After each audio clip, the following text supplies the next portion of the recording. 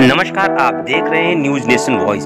Uttar Pradesh के देवरिया ज़िले के सलेमपुर तहसील के अंतर्गत मोहम्मद हुसैन इंटर कॉलेज के मैदान में स्वर्गीय फिरोज अली अंसारी मेमोरियल राज्य स्तरीय फुटबॉल प्रतियोगिता का शुभारंभ किया गया। आपको बताते चले कि स्वर्गीय फिरोज अली अंसारी मेमोरियल राज्य स्तरीय फुटबॉल प्रतियोगिताओं का शुभारंभ 27 दिसंबर 2021 दिन सोमवार मोहम्मद हुसैन इंटर कॉलेज नवलपुर के मैदान में शुरू होगा। आपको बताते चले कि यह फुटबॉल प्रतियोगिता 26 वर्ष बाद फिर से इसका आगाज़ होने जा रहा जबकि इस ग्राउंड पर स्वर्गीय आबिद अली अंसारी टूर्नामेंट कराते थे। क्योंकि खेल जगत में काफ़ी रुचि रखते थे, उनका सपना था सलेमपुर तहसील के क्षेत्र के युवक भाग ले और इंडिया लेवल तक अपने क्षेत्र का परचम लहराए, जबकि इस ग्राउंड पर दंगल का आयोजन हो चुका है। जिसमें फ़िल्म अभिनेता दारा सिंह भी आ चुके हैं। इस फुटबॉल प्रतियोगिता मोहम्मद हुसैन इंटर कॉलेज के प्रबंधक एवं आयोजक शमशाद आलम तथा वाईएमसी क्लब द्वारा कराया जा रहा है, जिसमें प्रतिभाग आठ टीमों को आमंत्रित किया गया है। बलिया, बनारस, नेपाल, आरा सिवान, कुशीनगर, छपरा, खैराबाद आदि इस विशाल प्रतियोगिता में मुख्य रूप से भाग ले रहे हैं।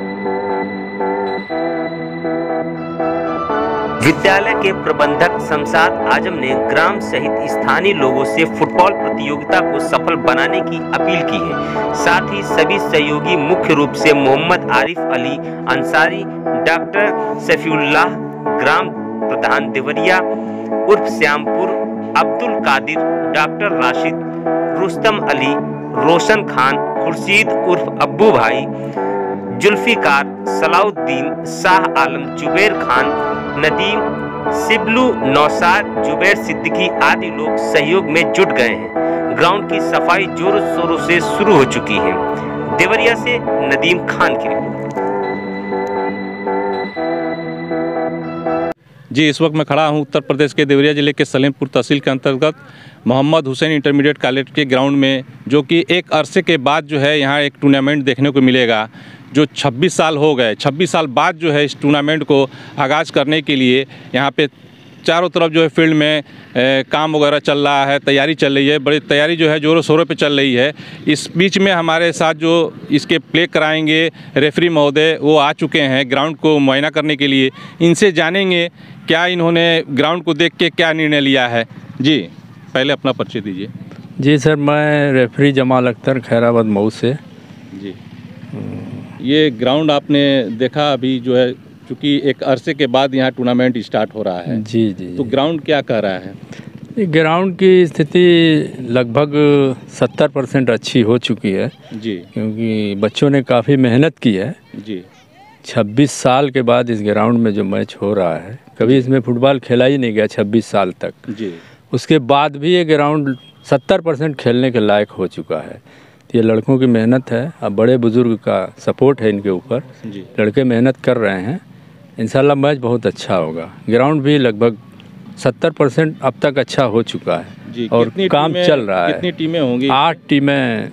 जो कहाँ कहाँ की होंगी जिसमें टीम आजमगढ़ मऊ बलिया और इधर सिवान छपरा बनारस गाज़ीपुर आरा। की भी टीम आ रही है। एक नेपाल की टीम आ रही है। कुशीनगर है। आठ टीमें लगभग आठ क्षेत्र से आ रही हैं। स्टेट लेवल है ये मैच की? ये- ऑल इंडिया है। ऑल इंडिया हाँ। ऑल इंडिया का आप इनको इंटरनेशनल कह सकते हैं क्योंकि नेपाल भी भाग ले रहा है भाग ले रहा है तो इसीलिए तो हाँ तो ये लगभग ये इंटरनेशनल मैच कह सकते हैं इंटरनेशनल मैच। हाँ हाँ।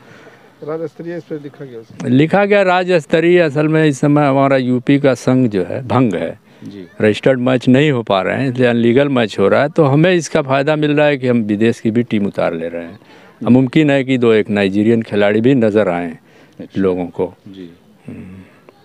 इसी क्रम में अब हम जानना चाहेंगे हमारे ग्राम प्रधान जो है डॉक्टर सफ़ीउल्ला साहब जो इसके अध्यक्ष हैं इनसे जानेंगे कि और जो है इसकी क्या क्या इसमें और कमियाँ हैं क्या सुधार कर रहे हैं कैसा मैच होगा क्या तैयारियाँ हैं इसके बारे में ये बताएँगे। जी डॉक्टर साहब जी। ये जो तैयारियाँ बहुत ज़ोर शोर से चल रही हैं और काफ़ी बच्चों ने काफ़ी मेहनत किया सारे लोग लगे हुए हैं पूरा गाँव लगा हुआ है इसमें इस मैच के साथ में। और इस साल तो हम लोग जो कुछ कमियाँ रह जा रही हैं पूरा किया जा रहा है मगर अगले साल तो इंशाल्लाह बहुत अच्छा से मैच होगा। और हो सकता है तब तक ये स्टेडियम भी बन जाए अपने यहाँ। जबकि स्टेडियम के न्यू तो रखी गई है मरहूम आबिद अली अंसारी जो जी, थे जी, उनके बिल्कुल, रहने वक्त जो है स्टेडियम की न्यू रख दी गई है। जी, जी। क्या ये लग रहा है कि ये स्टेडियम कामयाब हो जाएगा? बिल्कुल इंशाल्लाह। दुआ कीजिए आप लोग कि कामयाब हो जाए कि स्टेडियम यहाँ पे बन जाए।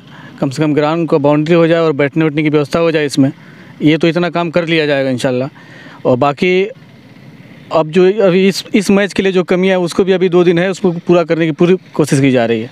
जी क्या टाइटल रखे हैं? ये फुटबॉल टूर्नामेंट। का टाइटल रखा गया कि हमारे अभी कोरोना काल में ये फिरोज भाई जो है हमारे एक्सपायर करें उन्हीं की याद में इस मैच को रखा गया है। मोहम्मद हुसैन इंटर कॉलेज के जो प्रिंसिपल रहे हैं हमारे। प्रधानाचार्य जी। जी जी। उन्हीं के याद में ये मैच किया जा रहा है। जी ये कंटिन्यू रहेगा मैच बिल्कुल इंशाल्लाह कंटिन्यू रहेगा।